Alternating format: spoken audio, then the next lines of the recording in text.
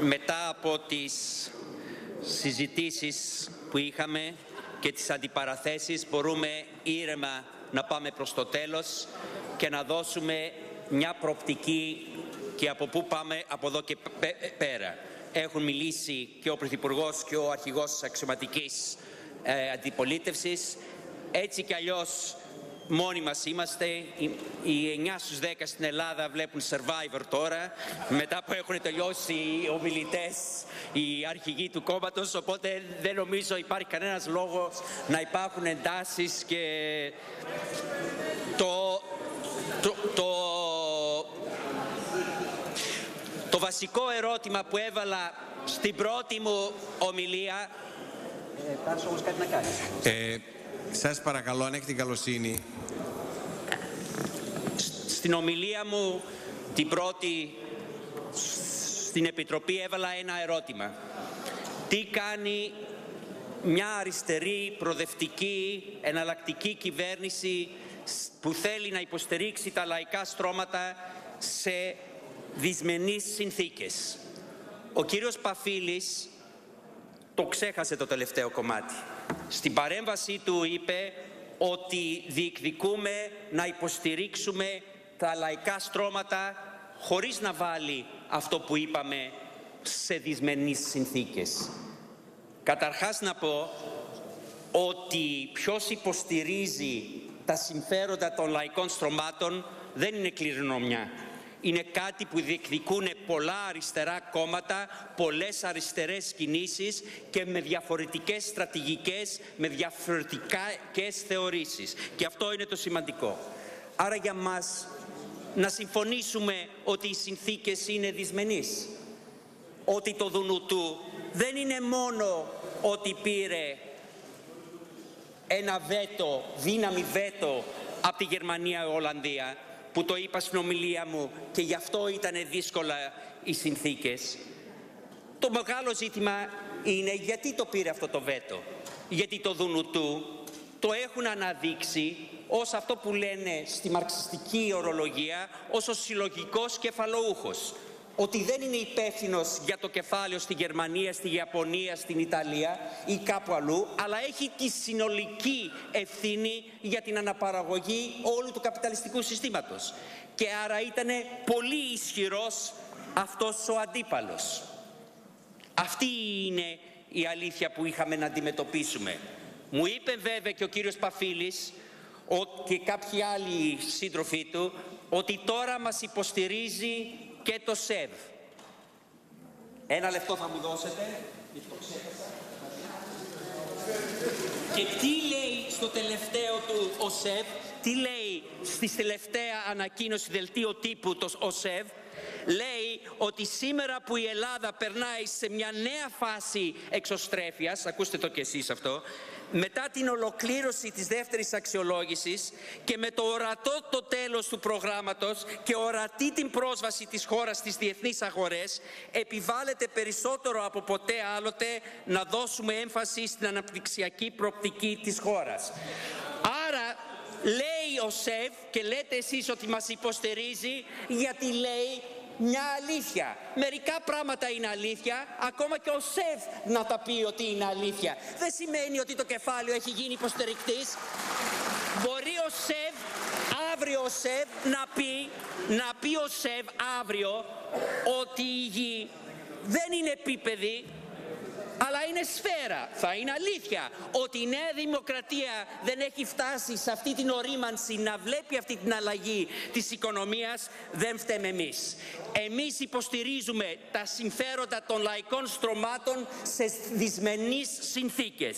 Ποτέ δεν είπαμε ότι έχουμε μονόδρομο, ποτέ δεν είπαμε ότι είμαστε γιατροί και τεχνοκράτες που θα λύσουμε τα προβλήματα πάνω από τα λαϊκά στρώματα, αλλά θα πρέπει να μπούμε και να σκύψουμε πάνω σε αυτά τα προβλήματα και να μην έχουμε αυτό το διαδικό σύστημα που έχετε εσείς, που είναι ο σοσιαλισμός εδώ που είναι η κατάσταση στον καπιταλισμό αυτό που ζούμε τώρα και δεν ξέρουμε καθόλου πώς πάμε από το ένα σημείο στο άλλο. Για να πας από το ένα σημείο στο άλλο πρέπει να αντιμετωπίσεις τα συγκεκριμένα προβλήματα μέσα σε αυτές τις συνθήκες. Και για να σας τελειώσω για το, με το Μάρξ ότι ο κόσμος, οι άνθρωποι καθορίζουν την πορεία τους αλλά όχι κάτω από συνθήκες που διαλέγουν οι ίδιοι. Αυτές τις συνθήκες βρήκαμε και αυτές τις συνθήκες παλεύουμε και θα συνεχίζουμε να παλεύουμε. Όπως είπε ο, ο Πρωθυπουργός, δεν μπορούμε να έχουμε διαφορετικές αναλύσεις όπως μας συμφέρει. Εγώ να δεχτώ ότι είναι το τέταρτο μνημόνιο αν εσείς δεχτείτε ότι είναι το 14ο μνημόνιο. Γιατί όπως σας είπε ο Πρωθυπουργός, το πρώτο μνημόνιο είχε πέντε ε, επικαιροποιήσεις, το δεύτερο μνημόνιο είχε τέσσερις επικαιροποιήσεις. Κάθε φορά που γίνεται αξιολόγηση έχουν, έχουνε και οι δύο πλευρές, έχουν και οι δύο πλευρές, δεν θα με διακόπτετε, θα ακούσετε λιγάκι, και οι δύο πλευρές έχουν το δικαίωμα να βάζουν καινούρια ε, θέματα και καινούρια μέτρα. Ίσχυε σε εσάς, ισχύει και σε εμάς. Οπότε διαλέξτε ή να το λέμε το τρίτο μνημόνιο ή το, το δέκατο το τέταρτο. Αλλά έτσι πως το θέλετε εσείς να τα έχετε και κορώνα κερδίζετε γράμματα χάνουμε, δεν θα το δεχτούμε. Πάμε τώρα στα μέτρα.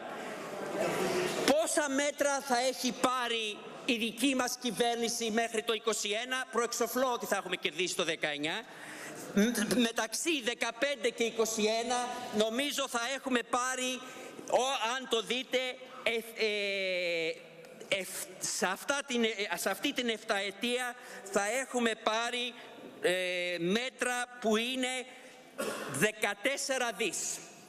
14,2 δις ευχαριστώ το, το συνάδελφο Χρήστο. Τι θα είναι τα αντίμετρα σε αυτή την περίοδο που αρχίζει από πράγματα που έχουμε ήδη κάνει για το ΚΕΑ που δώσαμε 750 εκατομμύρια θα είναι τα θετικά αρνητικά μέτρα που, ε, τα, τα θετικά μέτρα που θα ψηφίσουμε θα είναι και τα 3,5 δις που έχουμε καβάτζα μέχρι το 21 Πού φτάνουμε σε αυτό; Ότι περίπου θα έχουμε πάρει αρνητικά μέτρα 14 δις και θα έχουμε πάρει και θετικά μέτρα.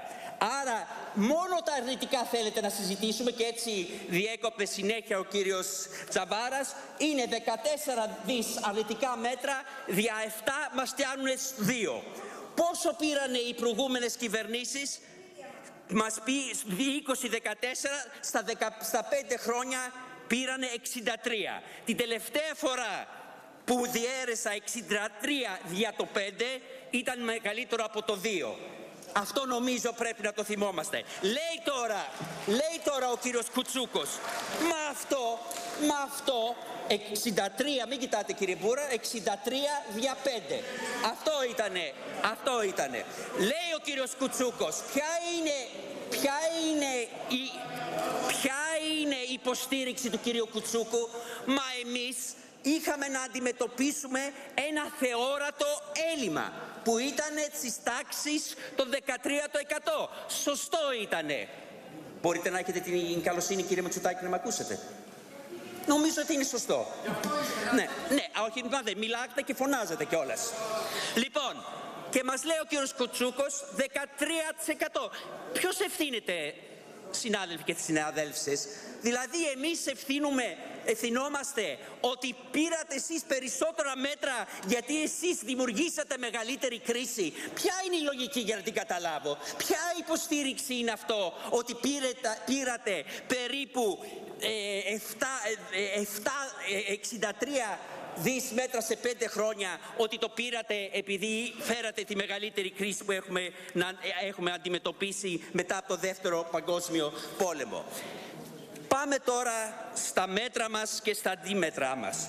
Έχουμε εξηγήσει, παρόλο αυτά τις διακοπές του κυρίου Τσαβάρα να μιλήσετε για τα μέτρα, ότι και θα μειωθεί το αφορολόγητο και θα μειωθούν οι συντάξεις. Δεν το έκρυψε η κυρία Τσόγλου για τις συντάξεις, δεν το έκρυψε η κυρία Παπανάτσιου για το αφορολόγητο. Το ξέρουμε ότι αυτό το κάνουμε. Είναι μέσα στην ιδεολογία μας αυτό; Όχι. Είναι μέσα στη θεωρητική μας ανάλυση ότι τι χρειάζεται για αυτή την οικονομία; Όχι. Είναι μέσα στους υπολογισμούς μας τι έπρεπε να γίνει.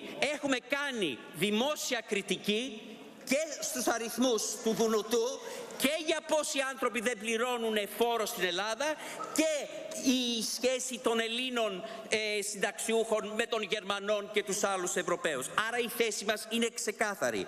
Αυτό που κάναμε ήταν ένας συμβασμός γιατί από την αρχή του μνημονίου ήταν ότι το Δουνουτού έπρεπε να μπει στο πρόγραμμα για τους λόγους που εξήγησα στους συντρόφους εδώ πέρα γιατί έπρεπε να ήταν το Δουνουτού μέσα στο πρόγραμμα και το Δουνουτού είχε αυτή την απέτηση κατά τη δική μου άποψη με τους λάθος υπολογισμούς και με την λάθος ε, ε, τεκμηρίωση. Έχουμε ξεκαθαρίσει, και ακούστε το αυτό σας παρακαλώ κύριο Μητσοτάκη και θα, θα αναφερθώ, με τον κύριο Βούτσι, ε, ε, Βορύδη και με τον κύριο Σταϊκούρα δύο τρόπους να μιλήσουμε για τα αντίμετρα. Έχουμε πει, δηλαδή με τον κύριο Βορύδη, ότι μπορεί να το πεις όπως το λέει ο Ευκλήδης, που λέει ότι τα μέτρα αντίμετρα θα είναι, ξεχνάμε τα μέτρα και τα τρίματα, λέμε φτάνουμε στο 18, στο 18 λέμε τι θα είναι το 19 και αν είμαστε στο 3,5 παίρνουμε και το ένα και το άλλο. Είπαμε και τη δεύτερη, είπαμε και το δεύτερο τρόπο που το λέει ο Ζερόν Ντάισεμπλουν και ο κύριος Βορύδης, χωρίς να, το, χωρίς να θέλω να το θίξω ούτε τον κύριο Ντάισεμπλουν ούτε τον κύριο Βορύδη, που λέει ότι αν το 18 λέμε ότι είμαστε στο 3,5 συν ένα που μειώνονται οι συντάξεις, τότε έχουμε δημοσιονομικό χώρο 1% και άρα μπορούμε να πάρουμε τα αντίμετρα. Αυτό όμως που είπατε εσείς στην ομιλία δεν ήταν ούτε η μία λύση ούτε η άλλη λύση. Εσείς θέλατε να συνεχίζετε να λέτε στο ελληνικό λαό ότι πρέπει να υπάρχει υπέρβαση των στόχων χωρίς να πείτε ότι σε αυτή την υπέρβαση των στόχων έχουμε ήδη υπολογίσει ότι θα είναι μέσα, στο, μέσα η μείωση των συντάξεων. Και αυτό δεν είναι έντιμος τρόπος. Το είπατε ξεκάθαρα, το είπατε και στη τηλεόραση και σας παρακαλώ για να συνονόμαστε σε αυτή την αίθουσα να το λέτε σωστά. Ή θα το λέτε όπως το λέω εγώ ή όπως το λέει ο, ο Ζερόν μαζί με τον ε, κύριο Βορύδη. Πάμε τώρα Πάμε τώρα σε αυτά τα αντίμετρα. Στο τρόπο που το λέτε εσείς δεν είναι σωστός και δεν είναι έτοιμος. Λοιπόν, πάμε τώρα στα αντίμετρα. Είπαμε ότι φύγουμε το δικό μας κόσμο και με το αφορολόγητο και με τις συντάξεις. Αποζημιώνουμε αυτούς τους ίδιους ανθρώπους με τα αντίμετρα. Όχι. Και εκεί ήμασταν ευθύς και ειλικρινείς. Δεν τους ε, αποζημιώνουμε ένα προς ένα. Λέμε όμως ένα συνταξιούχο μέσα στην κατάσταση που είναι ότι εσείς δεν έχετε εγγόνια που τους δίνετε τώρα από τη σύνταξή σας και θα βοηθηθείτε από το αντίμετρο για τα παιδιά. Εσείς δεν έχετε παιδιά που συγκοτάρετε στο νίκη ή στο δάνειο που θα βοηθηθείτε από, από, από αυτό και θα ελαφρύνετε εσείς. Εσείς δεν έχετε και δεν πληρώνετε φάρμακα. Προσέξτε, δεν είναι σοβαρό κοινωνικό κράτος που οι συντάξεις των μεγάλων ανθρώπων δεν είναι για αυτούς, αλλά είναι για τη συντήρηση των παιδιών τους, τα εγγόνια τους, για τα παιδιά που, για τους άνεργους. Εμείς θα ήθελαμε στο τέλος αυτής της κατάστασης οι συντάξεις να είναι για τις συντάξεις, να έχουμε προγράμματα για την απασχόληση. Εγώ δεν ξέρω αν το έχετε ακούσει εσείς, εγώ πολλές φορές έχω ακούσει και στην Πρέβεζα και αλλού που έχω πάει ότι εγώ παιδάκι μου από έναν μεγάλο άνθρωπο δεν με νοιάζει τόσο πολύ η σύνταξη αλλά θέλω το παιδί μου να βρει δουλειά.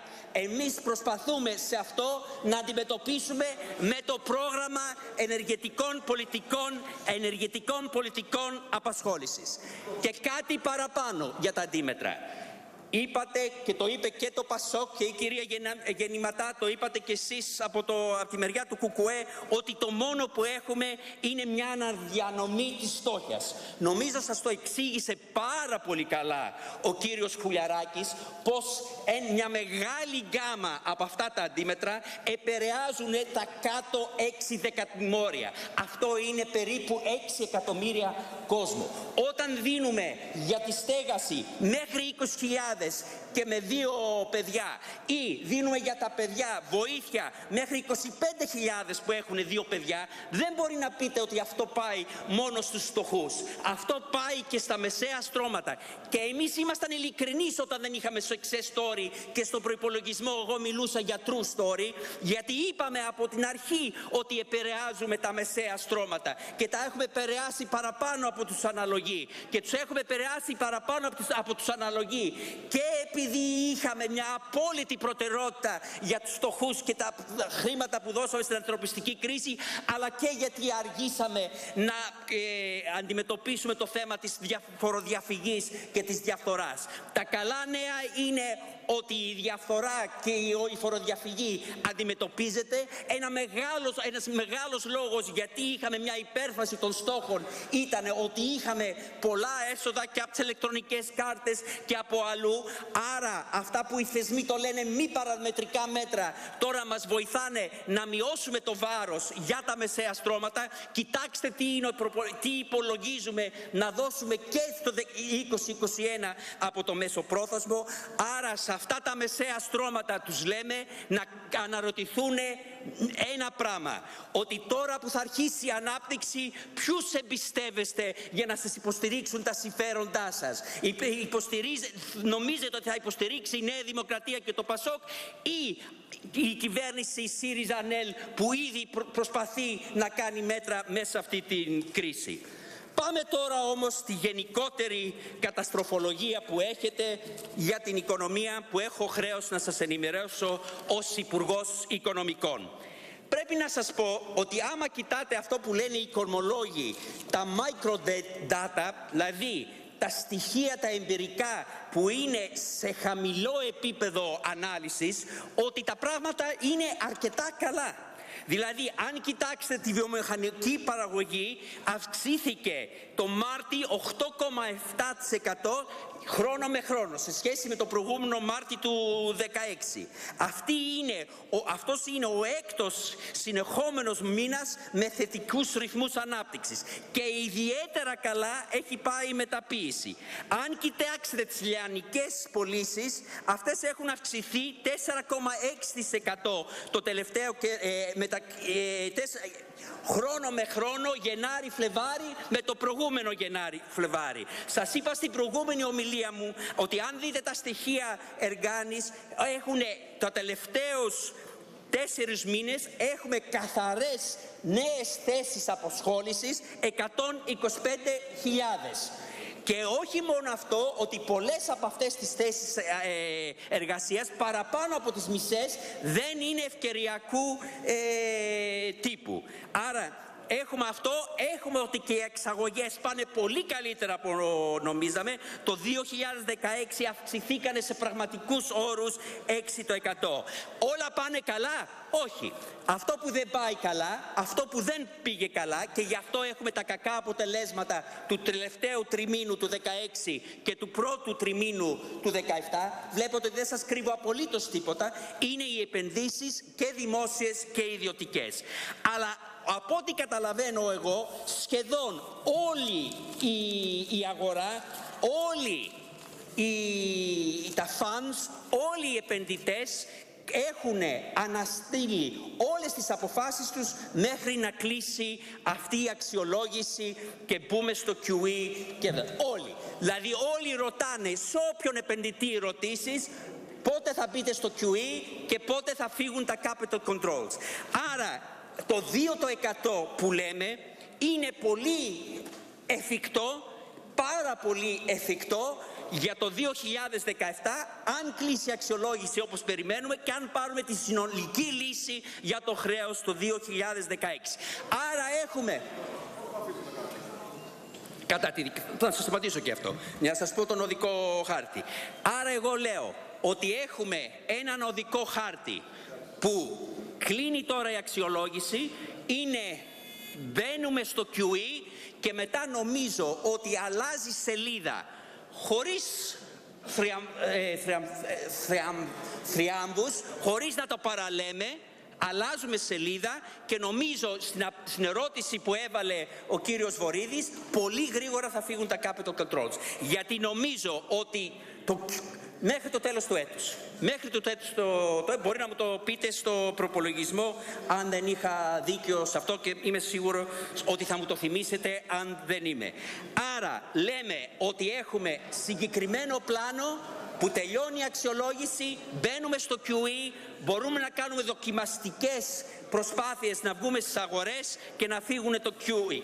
Είμαι απόλυτος σίγουρος ότι αυτό μπορεί να γίνει. Και άρα φτάνουμε στο θέμα του χρέους που είναι και αυτό κομμάτι όλης αυτής της ανάλυσης. Εμείς πιέζουμε για μια καλή λύση για το χρέος. Νομίζω ότι είχαμε τις ευχές του κυρίου Βορύδη σήμερα το πρωί να πάει καλά η συζήτηση. Αυτό που δεν είχαμε όμως ήταν μια επίσημη θέση και από το Πασό και τη Νέα Δημοκρατία. Στην έκθεση και στην παρέμβαση των τριών αρχηγών της Ευρωβουλής που αναφέρθηκε ο Πρωθυπουργός, τελειώνει με την εξής φράση. Η Ελλάδα για πρώτη φορά από την αρχή της κρίσης, από την πρώτη φορά λέει, από την αρχή της κρίσης, σημειώσετε κυρία Γεννηματά, η Ελλάδα για πρώτη φορά από την αρχή της κρίσης έχει βάσιμες προπτικές για οικονομική ανάπτυξη. Ο ελληνικός λαός θα πρέπει να επικεντρωθεί σε πολιτικές που οδηγούν στην έξοδο από το μνημόνιο και προωθούν την δίκαια και συμμετοχική ανάπτυξη. Το Eurogroup φέρει την ευθύνη να στηρίξει την πορεία της Ελλάδας προς μια βιώσιμη ανάκαμψη. Γιατί δεν μπορούσε αυτή η συζήτηση τεσσάρων ημερών να αρχίσει με κάτι τέτοιο, να συμφωνήσουμε σε αυτό και μετά να, να λύσουμε τις διαφορές μας; Γιατί δεν μπορούσε; Τι έχει ο κύριος Πιτέλα που δεν έχει η κυρία Γεννηματά. Τι έχει, τι έχουν οι τρεις αρχηγοί των Πρασίνων, των Σοσιαλδημοκρατών και της Αριστεράς που δεν μπορούν να συμμεριστούν οι αρχηγοί της δεξιάς; Και το καταθέτω και στα πρακτικά. Άρα το βασικό ερώτημα, ούτε οι αγορές ανησυχούν, ούτε ο ΣΕΒ, ούτε η Ευρωβουλή, ότι αλλάζουμε σελίδα. Πόσο καλή θα είναι αυτή η σελίδα που θα έρθουμε; Αυτό είναι το βασικό ερώτημα και αυτό είναι ο μεγάλος μας, ε, το μεγάλο μας άγχος. Βεβαίως, όπως είπα και στην αρχή της ομιλίας μου, θα εξαρτηθεί και από τον συσχετισμό δυνάμεων και στην Ευρωπαϊκή Ένωση. Γι' αυτό στην Ευρωπαϊκή Ένωση θέλω και τη γνώμη και του Πασόκ και της Νέας Δημοκρατίας για την πρόταση του Μακρόν να υπάρχει συγκεντροποίηση των επενδύσεων όλων των χωρών, να πηγαίνουν οι πόροι όλων των χωρών για τις επενδύσεις σε κεντρικό σημείο και να παίρνουν πίσω οι χώρες από αυτές ανάλογα με τις ανάγκες τους. Άρα μια μεταφορά πόρων στις χώρες. Γιατί εγώ δεν μπορώ να συζητήσω για τους συσχετισμούς δύναμης αν δεν μου πείτε κι εσείς ποια είναι η θέση σας. Εμείς λέμε διάφορα πράγματα πώς θα αλλάξουμε Ευρώπη. Εγώ το πάω και παραπέρα. Έχω πει επισήμως στην ΕΚΟΦΗΝ και σε πάρα πολλές συνεδριάσεις και συνέδρια στην Ευρωπαϊκή Ένωση ότι θέλω αν είναι να συνεχιστεί η επιτήρηση, να έχουμε και κοινωνικά κριτήρια. Δηλαδή, έχω βάλει το θέμα στο ΙΚΟΦΗΝ ότι για να αξιολογηθείς δεν θα είναι μόνο το δημοσιονομικό πλεόνασμα, αλλά πόσο καλά την έχεις πάει στην ανισότητα. Πόσο καλά το έχεις πάει στο ποσοστό της φτώχειας. Σε αυτό θα μας υποστηρίξετε. Είναι μέρος αυτό για να αλλάξουμε το πλαίσιο μέσα που διαπραγματευόμαστε ή δεν είναι αυτό; Θα σφυρίξουμε αδιάφορα γιατί το Λαϊκό Κόμμα θέλει αυτή την επιτήρηση που έχουμε τώρα στο ευρωπαϊκό επίπεδο και θα θέλει και σκληρή επιτήρηση όταν θα φύγουμε. Να το αποφασίσουμε τι εννοούμε γι' αυτό. Γι' αυτό και μας δεν είναι μόνο ευρωπαϊκό, είναι και εθνικό. Κάνουμε τεράστιες προσπάθειες μέσα στο μνημόνιο για αυτούς τους συσχετισμούς.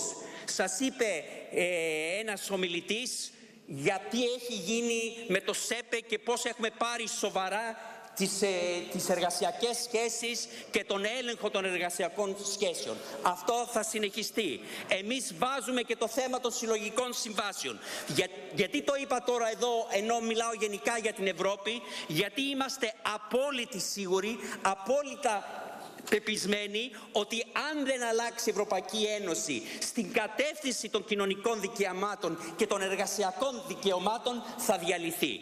Γιατί μόνος τρόπος να μην διαλυθεί είναι ο κόσμος της εργασίας να καταλαβαίνει το πρόσωπό του και στην Ευρωπαϊκή Ένωση εκεί που υπάρχουν τρόποι να υπάρχει συνεργασία για κάτι καλύτερο. Ο κύριος Χαρίτσης σας έδωσε ένα, ε, όχι συγγνώμη, ο κύριος Ξανθός σας έδωσε ένα παράδειγμα πως μέσα από οι χώρες του Νότου πηγαίνουν για να αλλάξουν το συσχετισμό δύναμη σε σχέση με τις φαρμακευτικές εταιρείες. Αυτό έχουμε καταλάβει εμείς μιλώντας στην αριστερά μου. Εμείς έχουμε καταλάβει ότι είτε είναι για τη τιμή των φαρμάκων, είτε είναι για να μην υπάρχει φορολογικός πόλεμος και αυτό που κάνει η Ιρλανδία να έχει χαμηλούς φόρους για να πηγαίνουν επενδύσεις εκεί, είτε είναι για θέμα οικολογικά, σε εθνικό επίπεδο δεν λύνονται. Αλλά λέμε και κάτι παραπάνω, ότι αν δεν λυθούν δεν υπάρχει και λόγος για αυτή την Ευρωπαϊκή Ένωση και δεν έχει προπτική. Δεν είναι όμως μόνο θέμα, και με αυτό ε, κλείνω κύριε Πρόεδρε, δεν είναι μόνος θέμα τι γίνεται σε εθνικό επίπεδο, σε υπερεθνικό επίπεδο. Για να μπορέσουμε εμείς να βγάλουμε σε πέρα σε αυτό το μνημόνιο και πέρα όταν θα φύγουμε και θα μειωθεί η επιτήρηση πρέπει να έχουμε το δικό μας σχέδιο και για την ανάπτυξη. Πρέπει όλα αυτά που έχει, σας έχουμε ανακοινώσει για πώς δίνουμε έμφαση στις μικρομεσαίες επιχειρήσεις, στο πώς το υπερταμείο που το χλεβάζεται μπορεί να είναι εργαλείο βιομηχανικής και περιφερειακής πολιτικής που αυτό στο Ταϊπέδ ούτε ίχνος δεν υπήρχε. Όλα αυτά τα πράγματα πώς παρεμβαίνει στον αγροτικό τομέα, σε διαφορετικούς τομέας, είναι η προπτική μας που κοιτάμε μπροστά. Με καινούρια εργαλεία, χρηματοοικονομικά εργαλεία, με καινούριους φορείς ανάπτυξης με το κοινωνικό τομέα. Όλα αυτά θα κρυθούμε το 2019 και στις εκλογές μετά το 2023. Αν έχουμε μπορέσει να φέρουμε ένα αναπτυξιακό μοντέλο που δεν επιστρέφει στο 2019, που δεν είναι μόνο η μεγάλη δρόμοι και μόνο οι μεγάλες επενδύσεις, αλλά πολλές μικρές επενδύσεις που πιάνουν χώρο για μια οικονομία σαν την Ελλάδα. Και εκεί είναι που θα κριθούμε. Τελειώνω λέγοντας και το τελευταίο. Για να κριθούμε πρέπει να κριθούμε και σε ένα άλλο τομέα. Και αυτός είναι ο τομέας της δημοκρατίας. Ότι θα περέσουμε να λειτουργούμε συλλογικά συντονισμένα, να έχουμε φίλτρα για ποιοι είναι οι επενδυτές που έρχονται. Γιατί το πρόβλημά μας σε λίγο δεν θα είναι ότι θα έρχονται επενδυτές που λέτε εσείς, αλλά θα έρχονται πολλοί επενδυτές. Και επειδή δεν είναι όλοι οι επενδυτές το ίδιο, και θα χρειαζόμαστε φίλτρα φίλτρα για να, να ξεχωρίσουμε τους επενδυτές που θέλουν να κάνουν μακροπρόθεσμη επένδυση και αυτούς που θέλουν το γρήγορο κέρδος. Χρειάζεται μια συντονισμένη αντιμετώπιση, χρειάζεται όμως να το κάνεις με τον ελληνικό λαό, να μπορέσεις να ενεργοποιήσεις όλο τον ελληνικό λαό για αυτό το διαφορετικό αναπτυξιακό σχέδιο. Και τελειώνω εκεί που άρχισα, ότι χωρίς την ενεργή συμμετοχή του ελληνικού λαού, χωρίς να κατανοήσει τι προσπαθούμε να κάνουμε, χωρίς τη δική του κριτική να μας πει ότι δεν το κάνουμε καλά εκεί που δεν το κάνουμε καλά, δεν αλλάζουν οι σχετισμοί δύναμης και αυτό είναι το τελικό που εμείς θα επιδιώξουμε. Επιδιώκουμε μια ελληνική αριστερά, μια ελληνική κυβέρνηση που παρεμβαίνει στην πραγματική κοινωνία με τα πραγματικά προβλήματα δίνοντας πραγματικές λύσεις. Και σε αυτό θα κριστούμε. Ευχαριστώ πάρα πολύ.